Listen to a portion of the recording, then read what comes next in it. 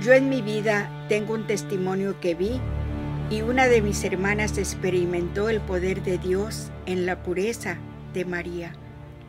Ella nos dice, gozosa, que un día en que viajaba en avión de Los Ángeles a México, a medio vuelo más o menos el avión comenzó a fallar.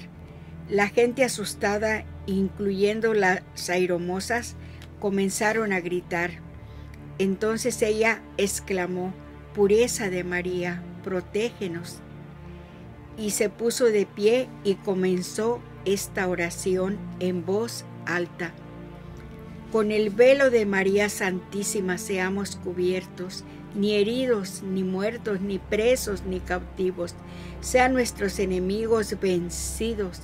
El poder de Dios nos valga y la fuerza de la fe, la pureza de María y la santidad del Señor San José cuando ella dijo la pureza de María, el avión tomó control y felices llegaron a su destino. Yo también, que acostumbraba a rezar esta oración, tuve una experiencia similar. Un día, platicando con un joven, me dijo que iba esa tarde a cruzar hacia los Estados Unidos. Al verlo tan joven, pensé, lo, lo invitaré a orar. Los dos rezamos esa oración y él, y él siguió su camino.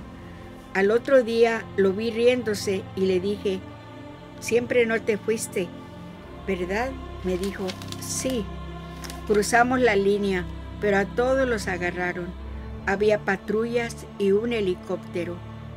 Yo me agaché en unas ramitas y el helicóptero casi se paraba junto a mí. Me cegaban las luces, pero nunca me vieron. Después de buscar, se fueron y yo solo me regresé. Yo pensé, lo protegió la Virgen con la oración que hicimos. Que Dios los bendiga.